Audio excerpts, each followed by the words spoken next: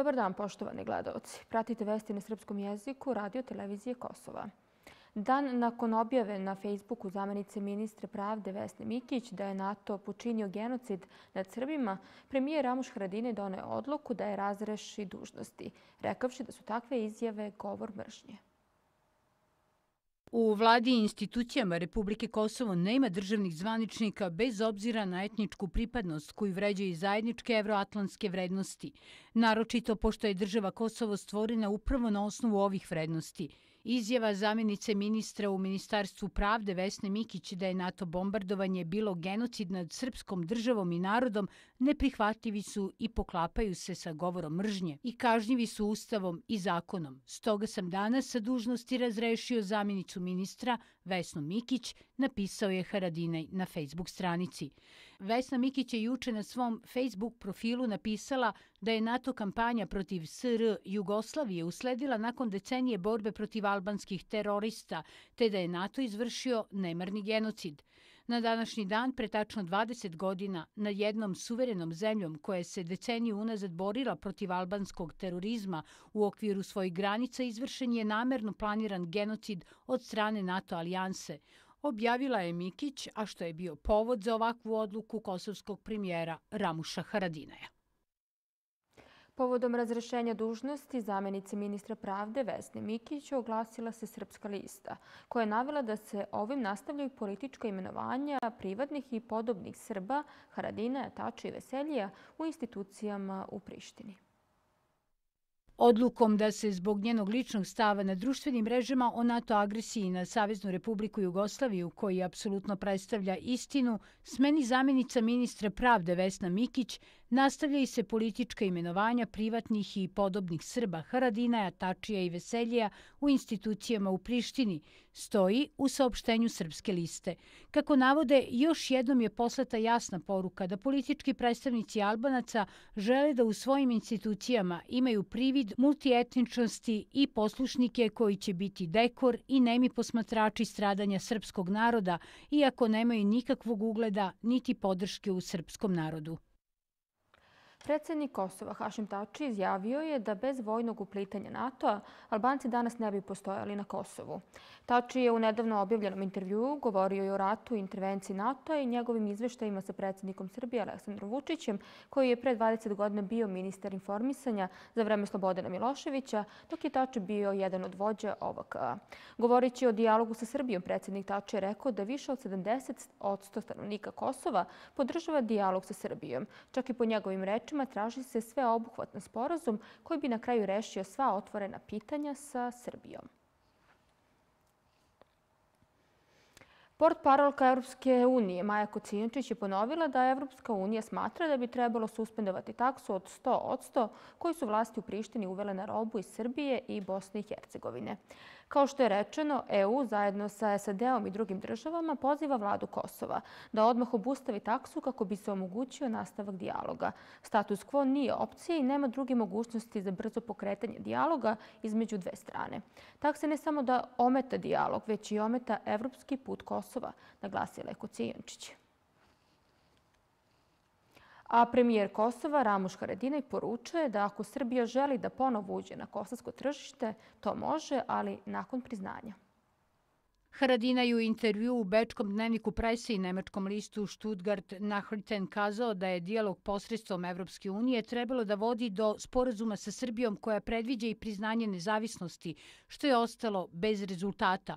Upitan da li su takse na srpsku robu vredne i opterećenja odnosa sa SAD-om, on je kazao da Kosovo ima veliko poštovanje prema Americi, ali da je suverena nacija i da su pojedine odluke sobstvene. Poručio je da ni jedna granica na Balkanu nije stara ili stabilna i da bi ponovo razmatranje pitanja granica destabilizovalo ne samo Kosovo, već ceo region. Kosovo je želalo trajni sporazum sa Srbijom, ali nećemo se zato igrati teritorijama i granicama. To nije rešenje. Opasno i zbog toga do toga neće ni doći, rekao je Haradinaj. Srbin iz Gračanice pronašao je juče eksplozivnu napravu dok je radio na svojoj njivi, saopštila je kosovska policija. U 24-časovnom izveštaju Kosovske policije dostavljeno medijima ovog jutra navodi se da su ubrzo nakon dobijene prijeve jedinice policije i jedinice za deminiranje KBS-a izašle na teren. Sumnjivi predmet identifikovan je kao ručna bomba M75. Eksplozivna naprava je uklonjena sa bezbedno sa mesta događaja, dodaje se u saopštenju policije. Opština Gračanica je započela asfaltiranje lokalnih ulica. Predsjednik opštine Gračanica je obišao radove u Dobrotinu i istako da je ovo početak realizacije planiranih projekata u 2019. godini. Prema rečima predsjednika opštine Gračanica, u 2019. godini je predviđeno asfaltiranje oko 10 km puta. On je pohvalio odgovornost lokalnih saveta i predstavnika svih sela. Nastavljamo sa poboljšanjem kvaliteta života naših meštana u opštini Gračanica e, posle novog naselja e, Skulaneva i Lepine. E, danas smo u pripremi za asfaltiranje u mestima Gornje Gušterice, Dobrotina, Batusa, Livađa i Donje Gušterice.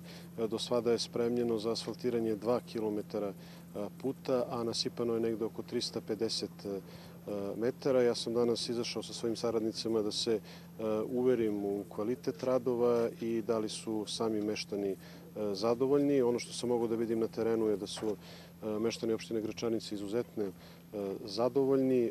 Moram opet da istaknem da zajednički plavimo planove i da nam je cilj da u skorije vreme, a nadam se da ćemo u tome uspeti da asfaltiramo što je moguće veći broj lokalnih ulica. Predstavnik Dobrotina naglašava da su meštani ovog sela nakon niza godina dočekali rešavanje problema sa asfaltiranjem ulica. Što se Dobrotina tiče, trenutno se asfaltiraju tri ulice. To je ulica Zorana Guđića, ulica Ćučićeva i ulica Mladosti. Trenutno znači, je 302 metara asfalta i 250 metara posipanje putova. E, to je veliki pokazatelj da opština Gračanica se bori za opstanak i ostanak svih nas koji živimo na ovim prostorima.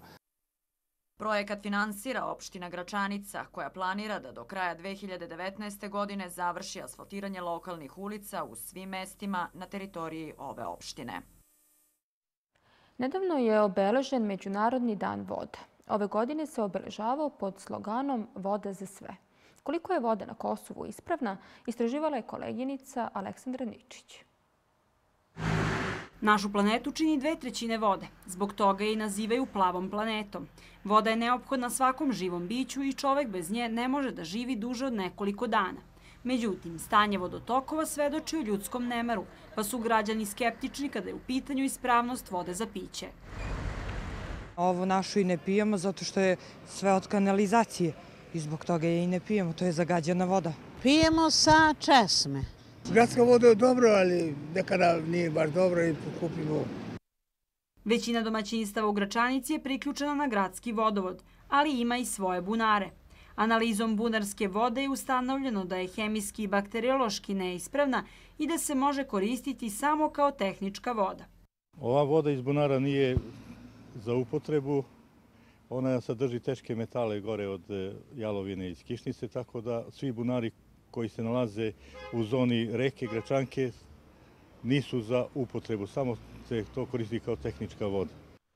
Vodosnabdevanje u Gračanici je dobro, poručuju nadležni iz vodovoda, jer je tvrde voda iz Badovačkog jezera hemijski i bakteriološki ispravna. Voda ne sme da izlazi e, u mrežu dok se ne ispita i dok, je, dok nije ispravno 100%. Tako da problemi, čuo sam tu, ljudi ne piju novo, Ja stalno pijem vodu ovde i ova voda je super bolja nego, nego flaširana. Iz Zavoda za javno zdravlje u Severnoj Mitrovici poručuju da je voda iz centralnog vodovoda u Mitrovici izvečano ispravna, a da građani koji koriste bunarsku vodu moraju redovno da je kontrolišu. Građani donose vodu, obično su to vode iz bunara i lokalnih vodovoda i e, bušotina. Ponekad su te vode neispravne i e, pogotovo bakteriološki neispravne, tako da i te vode treba da se ovaj, ređe koriste i da budu ljudi obazrivi. Iz Ministarstva za zaštitu životne sredine poručuju građanima da vode računa o vodi i da budu racionalni prilikom korišćenja prirodnih resursa. Imamo tu sreću da smo na jednom području na planeti Zemlji gdje još uvijek imamo pijećih voda dostupnih u prirodi. Dva procenata ljudi u svetu ima samo pijeću vodu, zdravu pijeću vodu na terenu. Mi, smo, mi spadamo još uvijek među tih dva procenata, ali je pitanje trenutka kada će se i naše vode zagaditi i kada ćemo ostati bez, bez pijeće vode. Generalna skupština Ujedinjenih nacija je 1992. godine 22. mart proglasila danom voda, koji se kao ekološki datum obeležava od 1993. godine. I za kraj vesto vremenu. Na Kosovu danas pravi prolećni dan, sunčan, na najviše dnevno u Prištini 20 stepeni. Prema najavom meteorologa, od sutra zahlađenje. Očekuje nas oblačno vreme sa pljuskovima. Minimalna dnevna 1 stepen, a maksimalna 11 stepeni Celzijusovih. Bile su ovo vesti na srpskom jeziku. Hvala na pažnji i doviđenja.